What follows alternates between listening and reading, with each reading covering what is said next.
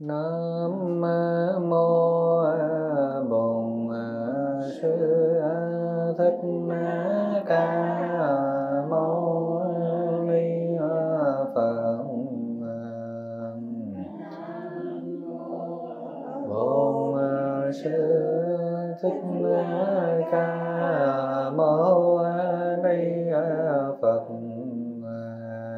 Nam sư thích ca mâu ni phật nam mô bổn sư thích ca mâu ni phật, tác đại chứng minh. Trân trọng kính chào tất cả quý vị hiện diện cũng như tất cả quý vị ăn ăn online. Thưa quý vị, chúng ta tìm hiểu tới 12 nhân duyên, tức là một giáo lý trọng yếu, vô cùng trọng yếu trong Phật giáo. Nó có tính năng quyết định chúng ta trong tiến trình giác ngộ, giải thoát sinh tử như Thế Tôn tuyên bố rằng, ta trong vô lượng kiếp trôi lên bởi vì mê lầm duyên khởi. Khi ta thấu triệt được hành tướng của duyên khởi, thì sanh tử trầm luân cũng bị chấm dứt. Thành ra, chúng ta hôm nay tìm hiểu tới từng chi phần của duyên khởi là chúng ta đang đang lột bỏ sự vô minh và chúng ta vượt qua vô số kiếp sanh tử. Nếu như một người nào có tội giác thì chúng ta hiểu điều này. Tức là lẽ ra chúng ta còn tái sanh một triệu kiếp nữa. Nhưng mà gì đến với bộ đội, bộ đội Phật quốc chúng ta học một bữa chúng ta giảm bớt trăm kiếp. Tại vì sao không không có có nói nói thách đâu, không phải đâu. Đây là gì? Đây là là một điều rõ ràng tại ta nó ví dụ như vậy tại sao bây giờ chúng ta không học không bao giờ chúng ta tư duy về lĩnh vực này? Và một khi chúng ta tư duy vào nó trong một chừng mực nào đó thì chúng ta thấu hiểu một phần nào đó. Và khi chúng ta thấu hiểu một phần thì cái kiếp vô minh sanh tử nó sẽ ngắn lại một ít. Đúng không? Thầy mô tả như vậy hoàn toàn là là không quá chút nào.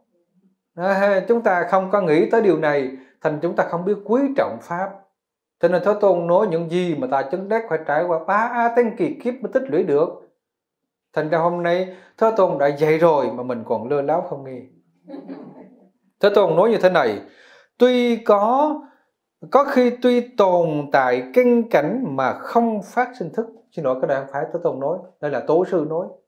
Tức là có khi tồn tại kinh cảnh mà không phát sinh thức, nhưng không hề có thức mà không gá nơi canh và cánh, hai điều này rõ không? Chúng ta hiểu câu lời dạy này như thế nào? Chẳng hạn như đóa hoa ở đây và con mắt của chúng ta ở đây. Không có không có mắt đóa hoa hiện tại đôi mắt chúng ta có. Nhưng chúng ta ngồi chúng ta mơ màng một câu chuyện gì ở đâu đó. Thì lúc đó chúng ta không có biết có đô hoa bên cạnh của mình đúng vậy không? Như vậy thì cánh có đó, kinh có đó, nhưng mà không khởi lên sự phân biệt của nhận thức. Cho nên có kinh, có cảnh mà không có thức. Nhưng nói ngược lại, khi có thức thì phải có kinh và cảnh. Tại vì có sự phân biệt thì phải có cái cái cơ quan phân biệt và đối tượng phân biệt. Hay nói cách khác muốn có nhãn thức phân biệt về đây là một đóa hoa, thì buộc đóa hoa này phải có và con mắt phải thấy. Đúng vậy không? Thì không có mắt này làm sao mà thấy? Hoặc là có mắt mà không có hoa, lấy gì mà phân biệt đây là hoa? Thành ra khi có nhãn thức là phải có gì?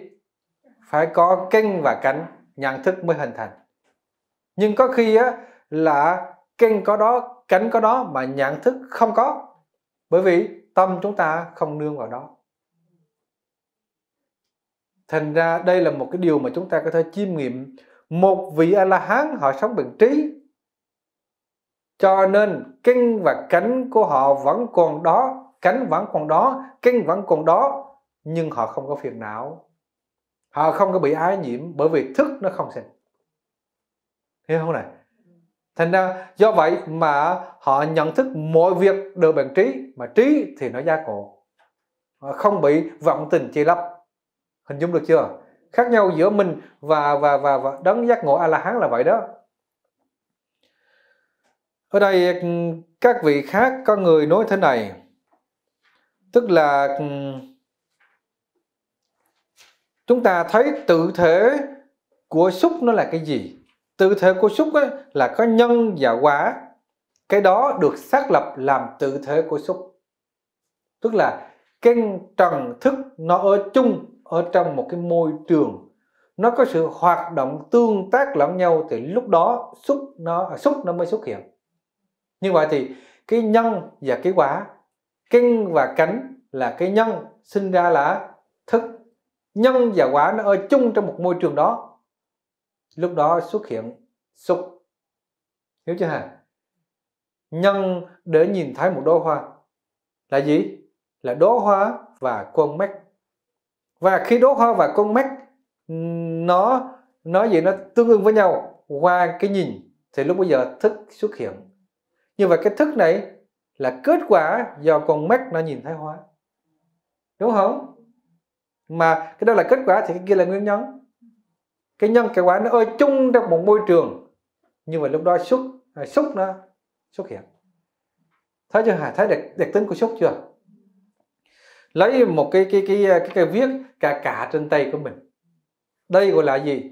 Thân nghĩ thân. Thân canh phải không? Cái này gọi là gì? À, là cánh phải không? Và nó phải tiếp giáp lên. Chứ nó nó, nó không có tiếp giáp thì không thành xúc thân thân xúc được. Như vậy thì đây gọi là thân thức cái biết về thân thức này. Như vậy thì cái viết này và thân là nhân. Và gì? Và gì? Nó nó tương tác với nhau. Thành ra nó mới sinh ra cái quả là là thân thức. À, như vậy thì nhân quả nó ở ở chung trong một chỗ. Như vậy bắt đầu cái xúc nó xuất hiện. Hình dung được không? Thầy nói lỗ tai các vị có nghe không? Có ai không nghe không? Có ai nghe một lỗ không? À, như vậy thì lúc đó lúc đó là âm thanh thầy nói là là sắc là thanh trần. Và lỗ tai của các vị là là nhĩ kính. Như vậy thì nhĩ kính và thanh trần là hai cái nguyên nhân nó tương tác lại. Và các vị đang phân biệt được thầy nói cái gì. Thì đây gọi là gì? Nhĩ thức. Và khi cái môi trường có nhân có quả như vậy thì cái xúc về về nhĩ tai về tay mình đến nó có mặt nó xuất hiện. À như vậy thì cây xúc nó xuất hiện khi có nhân có quả ở trong một chỗ. Hình dung được không ạ? Chúng ta quá hiểu về tâm lý nghiên cứu về về về đây về lĩnh vực này nó còn hơn là một trạng thái tâm lý học. Và cái sự xúc này nếu như không được kiểm soát cái xúc này nó loạn xạ hoặc là nó tạo ra cái kịch tính của xúc nó sẽ sinh ra rất nhiều loại tâm lý khác nhau. Chẳng hạn như người ta muốn chọc cười là người ta nêu ra một cái gì đó nó hơi dở hiếu, nó hơi trần tục một chút nhưng mà nó tạo ra sự đột ngột. Thì lúc đó bắt đầu á, là người ta người ta có cái gì đó cười cười trong bụng. Đúng không? Tức là cái nó là một loại nghệ thuật nó mà tự tâm lý nó hình thành nên trên cơ sở như vậy đó thành ra đây là nó là do xúc mà nó ra một cái tác phẩm nó ra một kết quả như vậy. Những nhà họ nghiên cứu về tâm lý thần kinh đó, là họ thấy rõ cái cảnh giới của xúc này và họ cho người này xúc với một trạng thái nào khác. Chẳng hạn như cho uống vào một loại thuốc để cho cơ thể mình nó sẽ tạo ra một cái xúc khác. Mà cái xúc này á nó tạo ra những cái áo giác khác. Áo giác này nó có tính năng là chữa lành cái kia hoặc là nó buộc á, là khả năng hoạt động của ý thức thần kinh sẽ nghỉ một chút xuống, để cho nó phục hồi lại. Hoặc là nó nó bắt người này không có được ý lại vào bất cứ một cái gì nữa, nó bắt nó nhốt một cái chỗ nào khác đi, để không có trách, không có hờn và lúc bây giờ cái bản năng sinh tồn nó phát khởi lên, nó trở thành một năng lực chữa trị cho bản thân mình. Những trường hợp như vậy, trước đây thì cứ trách người này giận người kia và nương tựa vào những người quen biết của mình bây giờ đây nó dẹp hết. Thế là tâm lý của người này sẽ thay đổi. Và cái, cái ý thức tồn tại bắt đầu nó phát khởi lên. Lúc đó người ta sẽ mạnh mẽ hơn sức chịu đựng người ta sẽ cao hơn. Và tất nhiên nó, nó nó ở trong môi trường là canh giữ nếu không người ta tự tàn hại mình. À, như vậy thì chúng ta phân tích ấy, ở trong cấu trúc này chúng ta hiểu rất nhiều thứ khác nhau. Mà tất nhiên chúng ta không phải phân tích tự để, để hình thành lên là tâm lý học thần kinh. Mà chúng ta mới hiểu rằng là tự thể của xúc nó hình thành trên nhân và quả ở trong đó là điều chúng ta nên ghi nhận. Và có người họ đặt câu hỏi vậy thì sự tập hợp tổ hợp hòa hợp của ba pháp này được gọi là xúc? Như vậy cái điều đó được hiểu như thế nào? Thành ra ở đây á à, quý ngài mới đưa ra một cái câu kết luận rằng á, cái câu kinh đó không nên đọc và hiểu theo cách đó mà nên đọc đọc rằng là gì? Là từ sự tập hợp từ sự tổ hợp từ sự hòa hợp. Chứ không phải rằng á, là sự tập hợp rồi sự tổ hợp và sự hòa hợp mà là từ từ sự. Tức là nó hình thành trên cái cơ sở đó mà nó ra một cái khác. Như vậy cái xúc ấy nó hình thành một cái là khác cái thằng kia. Khác nghe kênh cái trần thức nó khác. Nó ra một cái khác. Rồi từ cái xúc này á nó có một cái thọ cái thọ nghe cái trạng thái của thọ đấy nó y chang là xúc vậy đó. Nhưng mà cái tính chất của nó khác. Cái tính chất của thọ ấy, là nó tạo ra những cảm giác đau khổ hay là hạnh phúc. Nhưng mà nó hoàn toàn dựa vào cái xúc này mà nó hình thành. Cho nên nói rằng bây giờ như một đường thế này thì cái anh thọ cũng một một đường y chang vậy á. Nó dựa vào anh xúc mà nó hiện ra y chang. Nhưng mà hai anh á là hai tính chất khác nhau mặt mày giống nhau quần áo giống nhau bộ dạng y chang.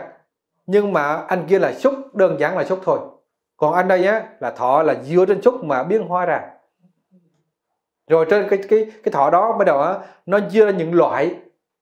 Những loại đó là gì? Là thọ lạc thọ gì? Là thọ khố hay là thọ xả? Những loại khác nhau. Như vậy thì nhưng mà chúng ta hiểu cái cấu trúc nó là từ đâu mà hình thành. Nắm được chưa hả? À, như vậy thì ở đây á chúng ta thấy rằng là từ sự tập hợp là chúng ta hiểu rằng à cái xúc này á là một cái gì? Là từ kinh trần và thức từ sự tập hợp của ba yếu tố đó mà hình thành ra nó. À, và chúng ta hiểu câu kinh như vậy nhưng trước đây nói rằng sự tập hợp sự tổ hợp sự hòa hợp của ba pháp của đại xúc. Nói như vậy không có đầy đủ bởi vì sao? Bởi vì hán tự không dịch nối một số cấu trúc của Bali. Nó khổ vậy đó mà thế tôn á dùng những cái ngôn từ như thế này á, là mô tả rất đúng. Thành ra ngôn nói đến ngôn ngữ triết học là phải nói đến Bali, nói đến Sanskrit. Còn hán tự nó chỉ là một loại ngôn ngữ tượng hình, tượng thanh. Rồi ờ, nó nó không phải là một loại ngôn ngữ triết học. Thành ra người ta tìm hiểu tới triết học là thường người ta hay tư duy những ngôn ngữ nó phát khởi từ tư duy triết học. Thì lúc giờ nó mới mô tả đúng những trạng thái rồi, tiếp theo. Ở đây á, chúng ta cho một cái ví dụ khác để thấy rằng là ở trong nhân mà ám chỉ quá chẳng hạn như người ta nói thế này, sự xuất hiện của chư Phật là an lạc. Thì chúng ta hiểu rằng á, Phật là nguyên nhân mà cái quả là là an lạc. Hay là người ta nói là là gì? Người ta nói là thiên thượng lạc, địa ngục khổ. Người ta nói như vậy là mình hiểu. Ờ, là trên trời là là an lạc. Như trên trời là cái nhân mà an lạc là cái quả. Địa ngục khổ địa ngục là cái nhân đọa vào đó thì phải chịu cái khổ. Đúng không? Cho nên á ngôn từ là sự tập hợp sự hòa hợp. Người ta nói như vậy là đủ hiếu rằng là ở trong cái nhân đó mà nó sinh đại xúc nắm được chưa à, rồi chia ra đều thấy rằng xúc nó có nhiều cái cái cách nhận thức khác nhau. Mà ở đây, quý ngài đặt ra xúc có hai loại ờ, và xúc tám loại. Xúc hai loại đây dễ hiểu nhất. Đó là xúc hữu đối và xúc tên tên thượng hay là tên ngữ. Chúng ta hình dung như vậy thôi. Xúc hữu đối. Xúc hữu đối là cái loại gì? Là xúc phải có một cái đối tượng chướng ngại nó gọi là xúc hữu đối chẳng hạn như các vị nhìn thấy đóa hoa màu hồng, thì lúc bây giờ đóa hoa màu hồng này là một sắc pháp, đúng chưa? Và con mắt nhìn thấy nó, lúc bây giờ nó sinh ra thức. Kênh trần thức này nó hình thành là một loại xúc cái xúc này là xúc hữu đối đúng không? Nếu như không có đóa hoa, các vị nói, thầy nói á, là bên kia có một đóa hoa, mà không có đóa hoa để nhìn, thì không tạo ra xúc hữu đối. Đúng không ạ? À? như vậy thì thầy nói ừ, hôm qua các vị ừ, chẳng hạn như hồi trưa ờ, đạo tràng chúng ta thọ bác quan trai thật là thanh tịnh. Hiện bây giờ đạo tràng bác quan trai không còn nữa, tức là cái chuyện đã diễn ra hồi trưa. Đúng không? Như vậy nhưng mà bây giờ chúng ta vẫn tiếp xúc được sự thanh tịnh của nó. Trạng thái đó là gì? Là xúc tên ngữ.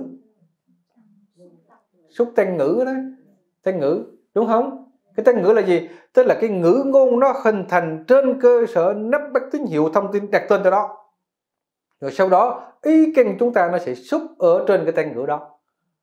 Hay nói cách khác là cái trạng thái xúc nó hai loại một loại là xúc vật chất và một loại xúc là danh tự hiểu chưa?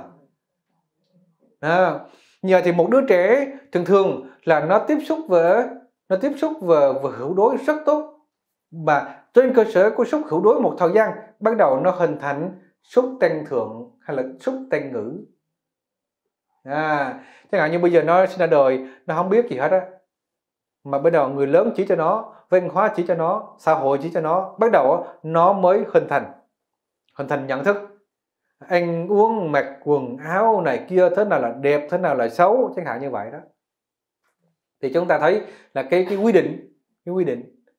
À, hồi xưa hồi xưa như thầy nhớ rõ là à, là đi vô trong cái nhà vệ sinh cái thằng bạn chút xíu học lớp 3 đi vô nó nó đuổi ra đi học đi vô nó đuổi ra nó nói mày là con gái không được vô đây. Cái thầy mới nói ủa chứ mình không biết là trai gái là cái gì khác nhau thế nào. Thế là bắt đầu á là mình uh, lén lén mình nhìn nó thử nó khác như mình không?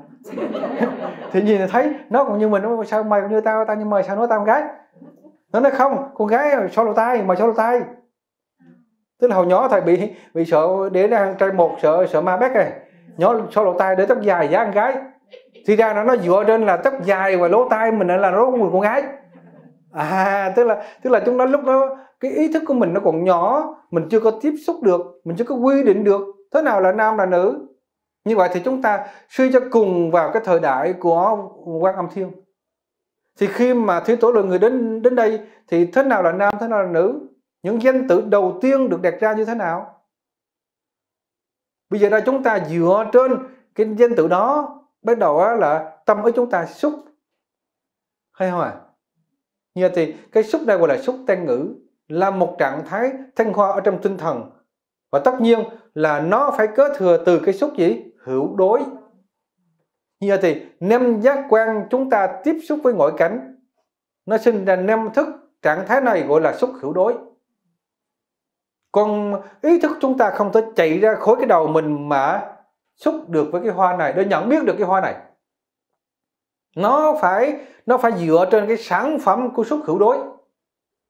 Được chưa? Hả à, đó là cái điều rất là hay thưa vị. Thành ra đây này quý ngài giải thích như sau. Như nói này bằng nhãn thức mà biết xanh nhưng không biết màu xanh thấy chưa? Nhãn thức á, là con mắt mình tiếp xúc với màu xanh. Thì á à, tiếp xúc với cái cái sắc xanh đó thì lúc bây giờ nhận thức nó ghi nhận đây là sắc xanh được không? Và lúc bây giờ cái sắc xanh này á được truyền vào dưới một dạng xung động thần kinh đi vào ở trong trong trong trong nội tâm. Và lúc đó là thần kinh mình á nó mới tiếp xúc với cái dạng xung động một tín hiệu được mất vào trong đó. Thì lúc bây giờ ở trong đó nó nói à đó là màu xanh như vậy thì cái dạng xúc sau đó là xúc tăng thượng tăng ngữ xúc bằng xúc bằng bằng khái niệm đã quy định sẵn. À, nhưng ví dụ như thưa vị á một đứa trẻ lớn lên mình là nam hay là nữ chưa biết. Tức là trong ý thức mình chưa được quy định thế nào là nam là nữ. Thành ra khi nó nói mình là nam nữ mình không biết. Cũng như vậy nếu như mà mình không được quy định đây là hình tròn đây là hình vuông đây là cái đầu đây là lỗ tai đây là cái lỗ mũi chẳng hạn như vậy mình chưa được quy định sẵn. Tức là chưa có cái xúc gì hữu đối trước đó được ghi lại ở trong đầu. Thì lúc đó cái xúc tăng thượng nó không có cơ sở để nó hoạt động. Hiểu không này như vậy thì cái xúc mà xúc xúc tăng ngữ đó, tăng ngữ là gì? Là những cái ngôn ngữ được do cái cái khả năng nắm bắt tín hiệu của năm giác quan nó đặt tên cho vấn đề đó và lúc bây giờ trong tâm ấy chúng ta khi muốn liên tưởng muốn hồi tưởng muốn có những cái dòng ký ức đều dựa vào cái trạng thái là xúc tan ngữ hay là xúc ờ, xúc xúc tan thượng đó. Tức là, là trên cơ sở đó mà hình thành ra một cái khái niệm. Từ đây gọi là tan thượng đúng không ạ? À? à vậy thì chúng ta thấy cái thần kinh chúng ta nó nó hoạt động rất là rõ ràng. Từ cái cơ sở của năm giác quan tạo ra năm cái gì? Tạo ra năm loại xúc rồi bắt đầu tâm ý chúng ta, nó sẽ dựa trên năm loại xúc đó. Mà cái trạng thái tạo ra tâm ý này đều là danh tự đều là ngôn ngữ, đều là những khái niệm. Nếu như không có khái niệm, tâm ý chúng ta sẽ không có cơ sở để hoạt động. Đúng chưa? À chúng ta thấy kỳ diệu vô cùng thành ra đây, các ngài nói rằng á, bằng nhãn thức mà biết sanh, nhưng không biết màu xanh bằng ý thức biết xanh mà cũng biết rằng đây là màu xanh tại vì cái ý thức nó, trước đó nó đã được quy định. Nó đã được mã hóa rồi. Với cái màu như vậy, được quy định là màu xanh. Cái hình tròn như vậy được quy định là hình tròn. Cái hình đó được gọi là hình vuông. Như vậy gọi là cao, như vậy gọi là thấp, như vậy là đen, như vậy là trắng, được quy định ở trong ký ức. Và khi tâm ý mà nó nhận ra, khi mà con mắt nó thấy cái màu đó là màu đen, thì cái màu đen đã được quy định trong đầu, có rồi thành ra lúc bây giờ nó đưa ra một cái quyết định đó là màu đen nó mới, vừa thấy còn nếu như trước đó không có quy định thì lúc bây giờ nó cũng chẳng biết. Nó biết rằng có cái màu đó nó ghi nhận nhưng mà nó chẳng biết là cái gì. Đúng không hả? À, vậy thì chúng ta hiểu đó tức là biết màu xanh nhưng không biết đây là chúng là biết xanh nhưng không biết là màu xanh. Xanh là cái tố chất thôi. Xanh vàng đỏ trắng. Còn cái màu là phải nói là là một khái niệm quy ước à, rồi ý thức nhưng mà ý thức thì nó sâu hơn do nó đã được huân tập từ trước thành ra nó biết xanh và nó cũng biết luôn đây là màu xanh có những trường hợp mà tái xanh ấy, rất là rõ ràng nha nhất là những người tái xanh gần. Họ có năng khiếu chẳng hạn như một người họ diễn đạt những trạng thái tâm lý tình cảm bằng ngôn ngữ thì lúc đó họ chết họ tái sanh gần thành ra bắt đầu họ cũng theo cái thói quen đó mà họ viết thành những thi vần ven tự trở thành những nhà thơ. À, cái người sống ở trong ái nhiễm cũng tạo phước cho nên đó lúc bây giờ họ ở trong hoàn cảnh sung túc và mỗi giọt họ mô tả với trạng thái ái nhiễm thành ra họ trở thành nhà thơ tình. Đúng không hả? Nó nó vậy đó. Nó nó nó tại vì họ mô tả trong đó. Rồi rồi có người á họ là nhà thơ nhưng mà họ hướng hết phước rồi họ chết ở đầu thai lâu lét rồi ra ở một cái thế hệ khác. Và lúc bây giờ người ta mô tả tâm lý tình cảm ở một cái giai đoạn khác. Thành ra lúc bây giờ họ không biết làm sao nói nữa. Cho nên trong tâm của họ không hình thành lên cái trạng thái kia được. Như vậy thì, cho nên chúng ta gọi là hữu lậu đó, là những kiến thức mà chúng ta học ngày hôm nay. Chẳng hạn như bây giờ chúng ta học về máy tính thôi. Mà một tuần sau chúng ta không có tiếp tục là cập nhật những thông tin mới về máy tính là bắt đầu chúng ta lạc hậu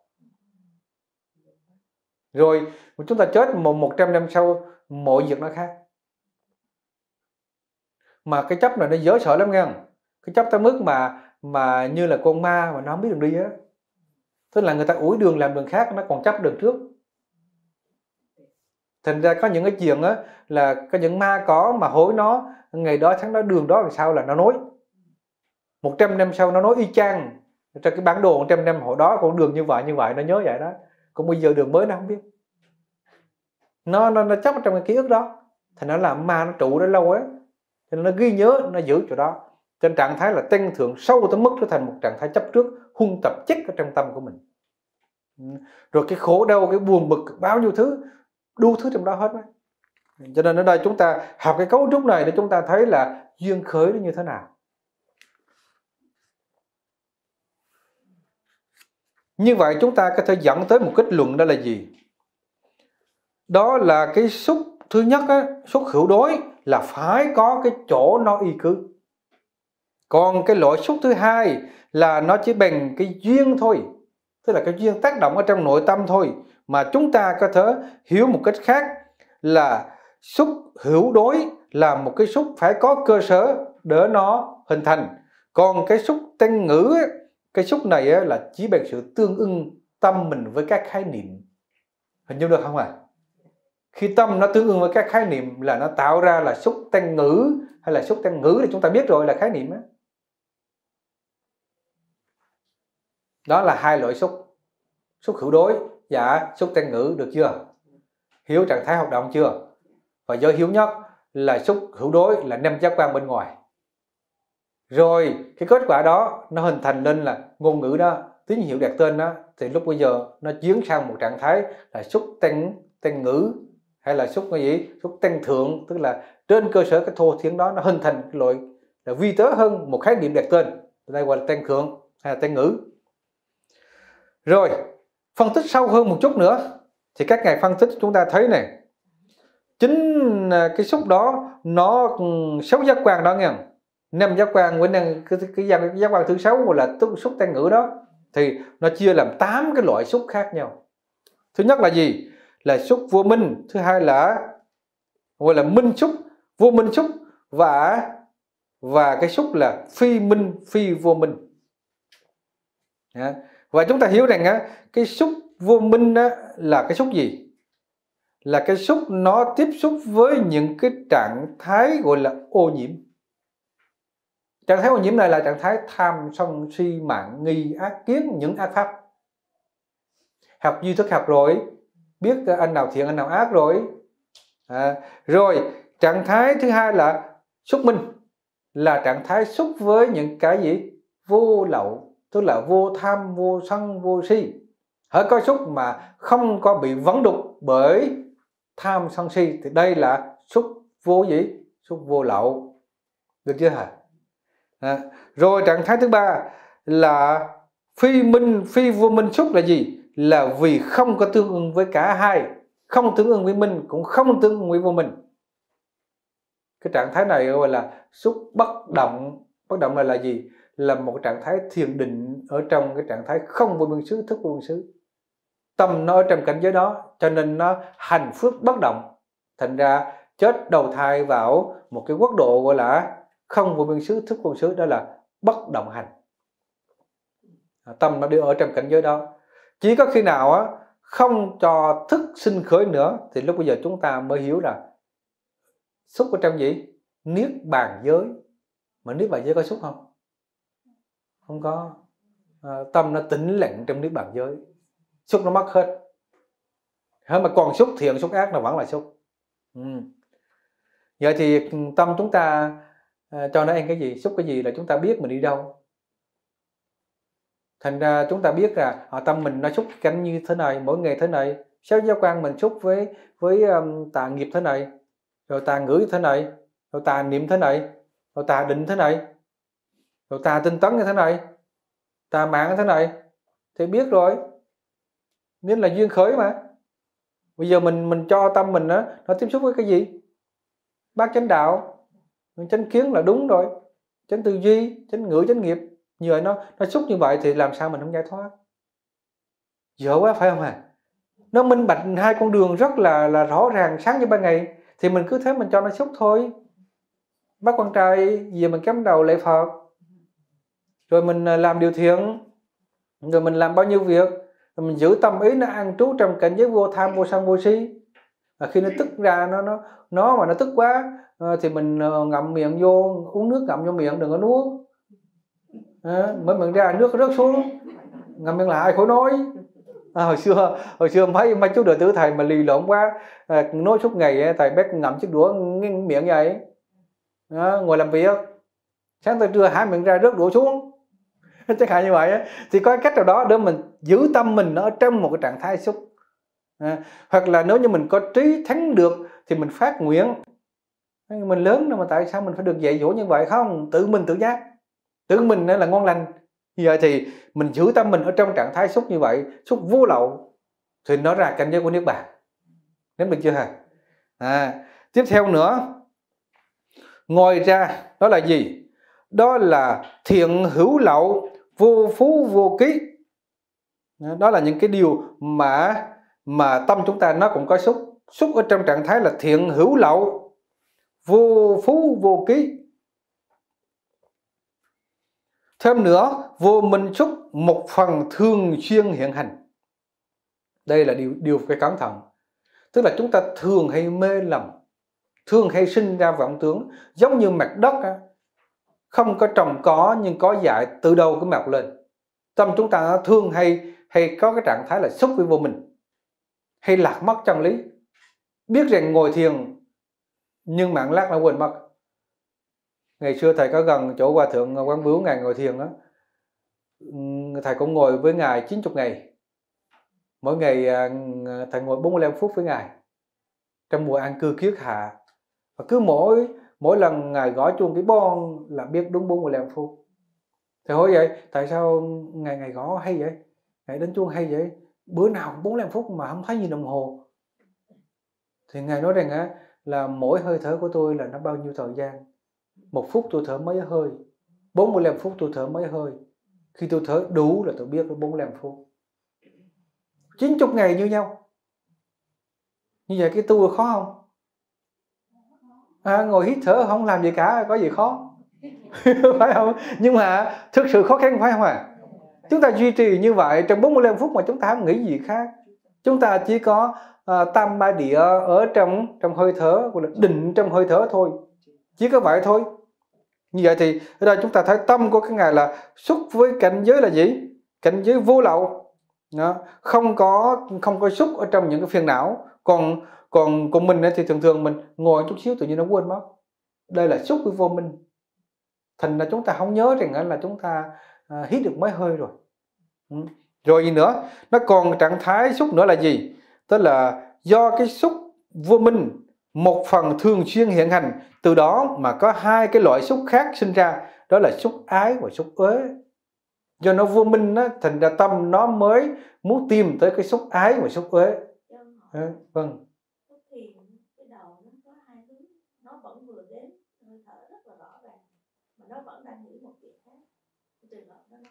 Cái trạng trường, trường hợp này á không phải là thiền thiền đơn giản là như thế này. Tức là mình xác định trong quỹ thời gian đó mình làm việc đó.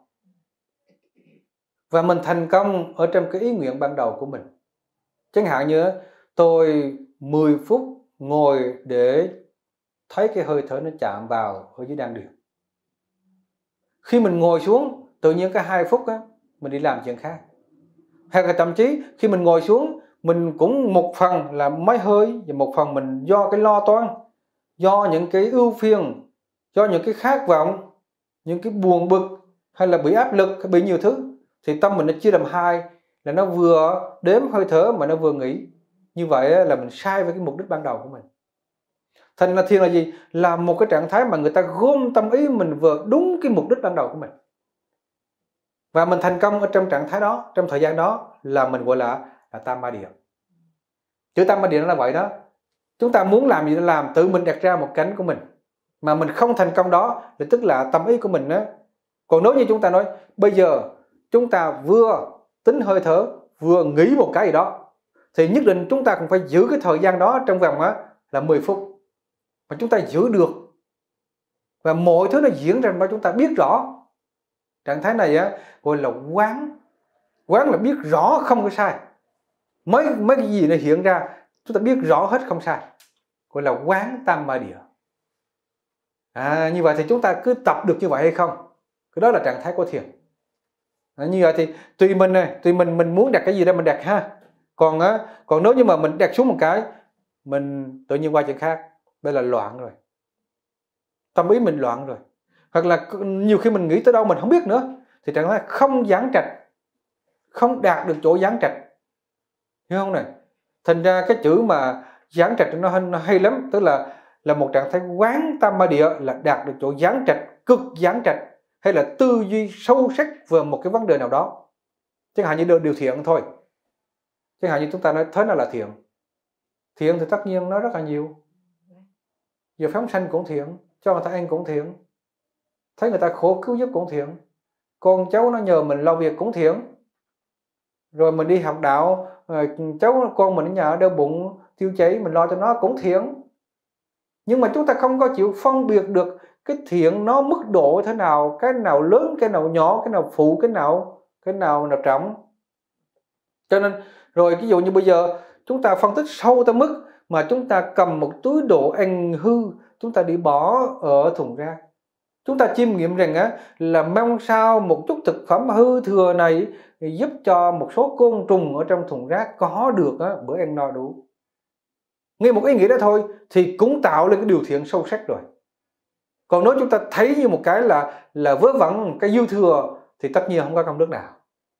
Ngay cả một điều thiện mà chúng ta quán tới mức như vậy quán sâu xa như vậy chiêm nghiệm sự tác hại của nó tương tác của nó một cái điều thiện ở trong tâm khởi lên hoặc là điều thiện được trụ vững hay là không trụ vững hoặc là hoặc là cái điều thiện này á là nó câu hành với tham sân si. Thiện mà có câu hành tham sân si không? Có sao không có? Ví dụ như mình á mình học thiệt dối cho mình bỏ ghét tại người ta khinh mình không biết học khác.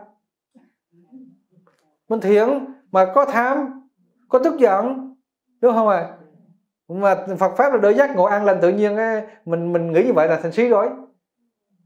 Nhưng mà mình thiện á là mình mình chỉ làm bình thường làm để cho mình phá trừ được cái vô minh của mình. Như vậy thì cái thiện đó không câu hành với tham sân si. À hoặc là nó khi mình khởi tới thì cái kia nó mới câu vô. Hay là có những cái là nó câu nó câu luôn ở trong đó thương trực luôn. Cũng giống như là quân tử trả thù 10 năm chứ muốn. Như vậy thì cái trạng thái tâm là nó câu hành một cách sâu với tham sân si mà không gián đoạn tới 10 năm luôn. Như vậy sao hả quán như vậy. Quán phân loại là phân loại ra. Phân ra biết từng ý nghĩ, từng suy nghĩ, từng việc làm như vậy thì trạng thái đó cũng là là quán, cũng là thiền nếu như mình có năng lực trí tuệ thì mình nên nên làm theo cách đó. Và nếu như đạt được năng lực này, một có thể biến là nhiều nhiều có thể thu gom lại một. Thần túc biến hóa. Có thể dẫn một nguồn nước ở trên hư không vào trong lòng đất. Điều này hồi xưa thầy thầy có làm được một lần. Trong một vùng không có không có nước mà ở trong cái công phu này á có thể dẫn một cái nguồn nước trên hư không vào ở trong lòng đất. Và lúc bây giờ chứa cho người ta đào chỗ đó lên có nước nó có nước. Từ cái công phu này mà thành tựu được. Không phải tại Phật pháp nó kỳ diệu lắm mà tất cả từ tâm biến ra. À, rất là kỳ diệu. Thành ra thưa vị như vậy thì ở đây chúng ta thấy cái chữ cái trạng thái xúc đó nghe như vậy cái trạng thái thiền là gì nghe chứ không có tức là đừng có sai mất mục đích và lúc bây giờ trong tâm mình có cái gì cái gì là mình biết. Như vậy thì mình đang sống với trí giác. Còn cái biết cái là bị bị trí giác mình đã biết phải không? Đó. còn nếu như mình đỡ cho nó dẫn mình đi theo và mình làm theo nó là mình bị mê rồi. Mặc dầu là điều đó đúng hơn nữa mình vẫn bị mê. Bởi vì hiện tại mình đang thiền mà tự nhiên mình chạy theo chân khác ấy. chạy không hay là mê rồi. À, trạng thái này nó khó lắm chứ không đơn giản đâu. Bởi vì cái năng lực huân tập nghiệp của chúng ta nó sâu dày ở dưới nội tâm á tự nhiên nó tịnh xuống là bắt đầu nó khởi lên này. Nó dẫn mình đi hồi nào không hay chứ không phải đơn giản đâu. Thấy như vậy đó cho nên phải tu trong từng ý nghĩ thực tập trong từng ý nghĩ. Và những vấn đề này chúng ta học để chúng ta phân loại biết tâm mình đã xúc với cái gì. Nó xúc với vô minh cho nên nó là xúc ái và xúc uế nó mới hình thành. Thành ra tâm nó xúc ái xúc uế là do trạng thái vô minh. Nếu như hết nó minh ấy, thì lúc bây giờ cái này nó mất vì nó cùng tương ưng với ái và uế cho nên gọi là gì? Là là xúc thường xuyên câu hành với của mình. đó là trạng thái mà trong tâm chúng ta thường mắc phải. Và từ đó nó còn sinh ra ba trạng thái xúc nữa là gì? Là xúc thọ rồi xúc thuận khổ thọ rồi xúc thuận khổ bất thọ bất lạc. Tức là nó cái xúc đó mà nó cái chiều hướng thuận để nó sinh ra là lạc. Còn cái xúc đó nó sinh thuận sinh ra là, là khổ chẳng hạn như chúng ta thường xúc ở trong môi trường học Phật pháp. Sống căn chúng ta, xúc trong đó thì bây giờ nó sinh ra lạc. Còn chúng ta rời ra, chúng ta xúc trong những cái môi trường đáo điên thì bắt đầu á là nó sinh ra khổ. Nó là xúc thuận dẫn tới tới khổ, xúc thuận dẫn tới lạc. Có những trường hợp xúc dẫn tới là phi khổ, phi lạc. Chẳng hạn như tâm vô vi bất động. Trạng thái này là xúc phi khổ, phi lạc? Hình hình dung được không? Chúng ta học quá nhiều loại tâm lý, phải không? Tiếp theo nữa, thưa quý vị, ở đây các ngài giải thích cụ thể hơn cho chúng ta thấy rằng nói nó là thuận thọ là vì nó dẫn đến các cảm giác, cảm thọ như là lạc, vân vân. Hoặc là vì nó được cảm thọ, hoặc vì nó có khả năng cảm thọ. Rồi là lạc ở trong gì? Ở trong thuận thọ này là nói là thuận thọ lạc. Như vậy thì cái xúc ở đây, ở trong đó là gì? Là xúc cảm thọ lạc. Thuận khổ thọ, thuận phi khổ phi lạc cũng vậy. Từ đó mà phân tích ra. Thế thì ở trong trong môi trường kinh trần, thức kinh trần là nhân, sinh ra quả là thức. Trong kinh trần thức là môi trường đầy đủ nhân quả đó, nó sinh ra là xúc rồi ở trong xúc đó nó là cái xúc thô là năm giác quan tiếp xúc ngoại cảnh. Và cái xúc về dạng ký ức à, khái niệm được quy ước thì đây gọi là xúc tên ngữ.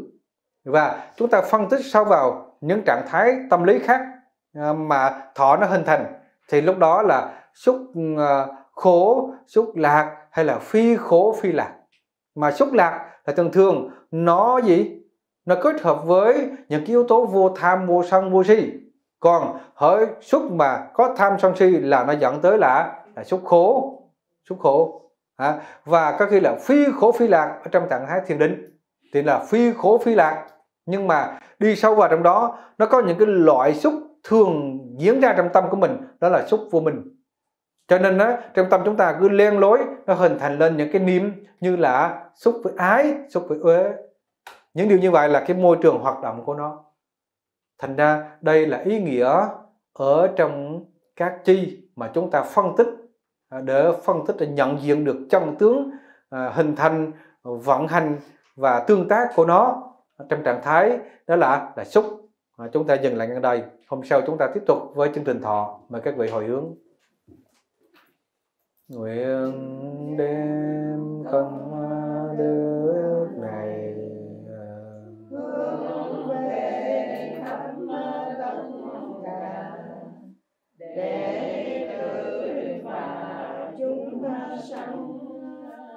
tự và chúng